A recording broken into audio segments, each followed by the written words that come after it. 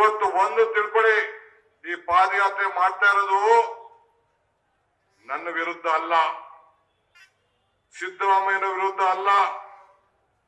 ಈ ರಾಜ್ಯದ ಬಡ ಜನತೆ ಕಾಂಗ್ರೆಸ್ಗೆ ನಲವತ್ ಮೂರು ಪರ್ಸೆಂಟ್ ವೋಟ್ ಕೊಟ್ಟು ನೂರ ಮೂವತ್ತಾರು ಸೀಟ್ ಗೆಲ್ಸಿದ್ರಿ. ಈ ಜಿಲ್ಲೆಯಲ್ಲಿ ಏಳು ಜನ ಶಾಸಕರನ್ನು ಗೆಲ್ಸಿದ್ರಿ ಈ ಬಡವರಿಗೋಸ್ಕರ ಐದು ಗ್ಯಾರಂಟಿ ಕೊಟ್ಟು ಐದು ಗ್ಯಾರಂಟಿಯನ್ನ ನಿಲ್ಲಿಸಲಿಕ್ಕೆ ಒಂದು ಹುನ್ನಾರವನ್ನು ಮಾಡಿ ಈ ಸರ್ಕಾರವನ್ನ ತೆಗಿಲಿಕ್ಕೆ ಹೊರಟಿದ್ದಾರೆ. ಕುಮಾರಣ್ಣ, ನಿನ್ನ ಹಣೆಯಲ್ಲಿ ಇದು ಬರೀಲಿಲ್ಲ. ಯಡಿಯೂರಪ್ಪನವರೇ ನಿಮ್ಮ ಮನೇಲಿ ಬರೀಲಿಲ್ಲ.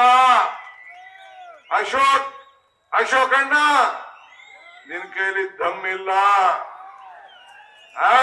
ವಿಜೇಂದ್ರ ವಿಜೇಂದ್ರ ಅಣ್ಣ ನನಗ, ವಿಜೇಂದ್ರ ಏನೋ ಕಾಂಗ್ರೆಸ್ ಪಕ್ಷದ ಭಿಕ್ಷೆಯಿಂದ ನಾವು ಯಾರೊಬ್ಬ ನಾಗರಾಜ್ ಗೌಡ ಅನ್ನೋ ಟಿಕೆಟ್ ಕೊಟ್ಟಿದ್ರೆ ನೀನ್ ಅಸೆಂಬ್ಲಿಗೆ ಬರ್ತಿರ್ಲಿಲ್ಲ. ಇದನ್ನ ಗಮನದಲ್ಲಿಟ್ಕೋ ಅದ್ ಬಿಟ್ಬಿಟ್ಟು ಏನ್ ಭ್ರಷ್ಟಾಚಾರದ ಪಿತಾಮಹ ಅಂತೆ. ನಾನ್ ಕೇಳಲಿಕ್ಕೆ ಬಯಸ್ತಾ ಇದ್ದೀನಿ. ವಿಜೇಂದ್ರ ನಿನ್ನ ತಂದೆ ಯಾರಿಗೋಸ್ಕರ ರಾಜೀನಾಮೆ ಕೊಟ್ರು? ಸುಪ್ರೀಂ ಕೋರ್ಟ್ ಅಲ್ಲಿ ಏನಿದೆ? ಏನು ಇವತ್ತು ದುಬೈಗೆ ಸ್ಪೆಷಲ್ ಫ್ಲೈಟ್ ಅಲ್ಲಿ ಹೋಗಿ ಅಕೌಂಟ್ ಓಪನ್ ಮಾಡ್ತಲ್ಲ? ನಮ್ಮ ಬ್ಯಾಂಕು, ಯಾವ ಬ್ಯಾಂಕು? ಲಕ್ಷ್ಮೀ ವಿಲಾಸ್ ಬ್ಯಾಂಕ್. ಕೋರ್ಟ್ ಗಟ್ಟಲೆ ಹಣ ಟ್ರಾನ್ಸ್ಫರ್ ಆಯ್ತಲ್ಲ? ಇನ್ನ ಯಾಕೆ ನಿಮ್ ಸರ್ಕಾರ ನಿನ್ನ ಮೇಲಿಂದ ತನಿಖೆ ಮಾಡಿಸಿಲ್ಲ? ಯಾಕೆ ರಾಜೀನಾಮೆ ಕೊಡ್ಸಿದ್ರು? ಇನ್ನ ಯಾಕೆ ಹಂಗೆ ಇದೆ?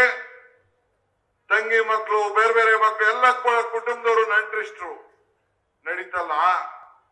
ನಾನ್ ಬಿಚ್ಚಿಗೆ ಹೇಳ ಈಗ ಬೇಡ. ಸರಿಯಾದ ಸಂದರ್ಭದಲ್ಲಿ ಅಸೆಂಬ್ಲಿಲೇ ಮಾತಾಡೋಣ. ಇವೆಲ್ಲ ಅಸೆಂಬ್ಲಿ ಚರ್ಚೆ ಆಗ್ಬೇಕು ದಾಖಲೆ ಇರ್ಬೇಕು. ಕುಮಾರಸ್ವಾಮಿ ನನ್ನ ಕುಟುಂಬದ ಬಗ್ಗೆ ನಾನು ಮಾತಾಡ್ಲಿ ಅಂತಾನೆ ನಿನ್ ಬಗ್ಗೆ ಮಾತಾಡ್ಕೊಂಡ್ ಬರ್ತಾ ಇದ್ದೀನಿ. ನಾನು ರೆಡಿ ಇದ್ದೀನಿ. ನಿಮ್ಮ ಅತ್ತೆ ಬಗ್ಗೆ ನಾನು ಮಾತಾಡೋದಿಲ್ಲ. ನಿಮ್ಮ ಅತ್ತೆ ಕೆ ಡಿ ಬಿ ಭೂಮಿ, ನಮ್ಮ ಅಕ್ಕಂದು ಸೈಟ್ ಒಂದು. ನಾನು ಮಾತಾಡಕ್ ಹೋಗುದಿಲ್ಲ ನಮ್ಮ ಅಕ್ಕನ ವಿಚಾರ. ನಾನು ಮಾತಾಡಕ್ ಹೋಗುದಿಲ್ಲ. ಇಲ್ಲಿ ಪಾಪ ಏನೋ ನಿನ್ನ ಸೈಟ್ ಕೊಟ್ಟಿದ್ಯಾ? ನಿನ್ ಪಟ್ಟಿ ಇದ್ದಲ್ಲ ನಿನ್ ಪಟ್ಟಿ. ಮೂಡಾದಲ್ಲಿ ಪಟ್ಟಿ. ಬಿಜೆಪಿಯವರು ಅಡ್ವರ್ಟೈಸ್ಮೆಂಟ್ ಕೊಟ್ಟವರಲ್ಲ. ಅದ್ರ ಬಗ್ಗೆ ನೀನ್ ಯಾಕಪ್ಪ ಉತ್ತರ ಕೊಡ್ತಾ ಇಲ್ಲ? ಯಾಕೆ ಕೊಡ್ತಾ ಇಲ್ಲ? ಇದನ್ನೆಲ್ಲ ನೀವು ಮಾತಾಡಬೇಕು. ಆದ್ರಿಂದ ಈ ಸಂದರ್ಭದಲ್ಲಿ ನಾನು ಹೇಳ್ತಾ ಇರೋದಿಷ್ಟೇ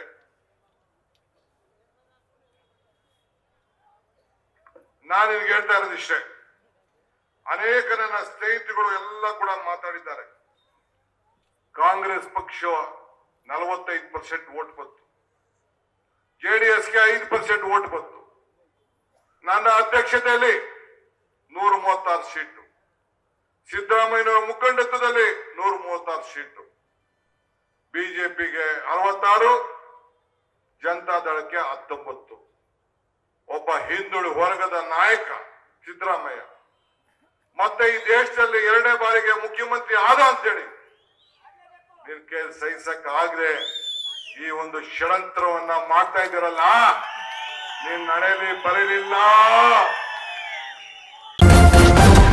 News first. ನಿರ್ಭೀತಿಯಿಂದ ನಿಮ್ಮ ಪರವಾಗಿ.